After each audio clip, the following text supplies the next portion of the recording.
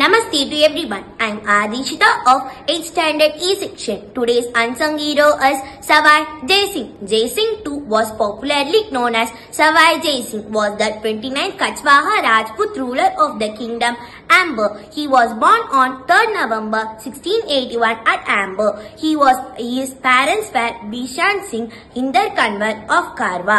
He became the ruler of Amber at the age of 11 after the death of his father Raja Bishan Singh. He received the title of Sawai by the Mughal Emperor Aurangzeb. Sawai means one and a quarter times superior to his contemporaries. He had received Maharajan Sawai Raj Rajeshwar Rajadhiraj in the year of 1721.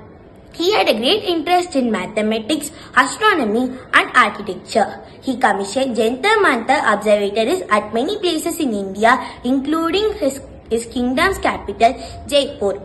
He moved his kingdom's capital from Amber to the city of Jaipur in 1721 and performed two Ashwamedha sacrifices, once in 1734 and again in 1741. He had Euclid's Elements of Geometry translated into Sanskrit. He died on 21st September 1743 at Jaipur. Thank you.